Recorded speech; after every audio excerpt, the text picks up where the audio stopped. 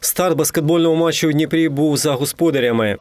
Вони контролювали темп, краще рухали м'яч і мали перевагу в китках з дальньої відстані. Харківські соколи відповідали на це стрімкими контратаками та не поступалися дніпрянам у боротьбі під щитами. Та все ж таки Дніпро у першій половині матчу грав переконливіше і на велику перерву пішов із гандикапом в 11 очок. Хоть мы и проиграли, но игра существенно отличалась от игры э, в Каменском.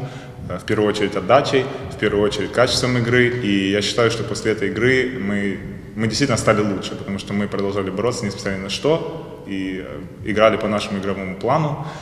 Поэтому работаем дальше, дальше больше. У другій половині матчу команда Дениса Журавльова зменшила оберти. Втім, навіть граючи не на максимумі своїх можливостей, господарі отримали перевагу до самого фінального свистка. Гості з усіх сил трималися у грі, однак наздогнати дніпрян так і не змогли.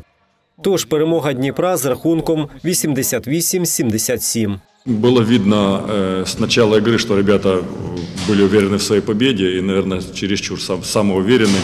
И в какие-то моменты наступало, наступало расслабление, где мы позволяли э, Харькову возвращаться в игру, э, пропускали быстрые прорывы. Тут просто, просто от, от того, что мы не бегали, не возвращались назад, не, воз- не бегали туда и назад, э, позволили команде набирать легкие очки. Найкращим гравцем матчу став американський захисник Дніпра Джаред Терел, який набрав 24 очка, зробив 5 передач та 4 підбирання. У Станіслава Тимофієнко і Дмитра Глєбова в активі по 12 очок. То, что мы победили, это хорошо, да, лучше плохо выиграть, чем хорошо проиграть. Много есть нюансов, которые сегодня не задалась игра изначально. Э, Есть какие-то там оправдания, может быть, под нагрузкой были, но нужно выходить более сконцентрированно на игру. Наразі наша команда посідає друге місце в українській баскетбольній суперлізі. Свій наступний матч Дніпро зіграє 19 листопада проти черкаських мав.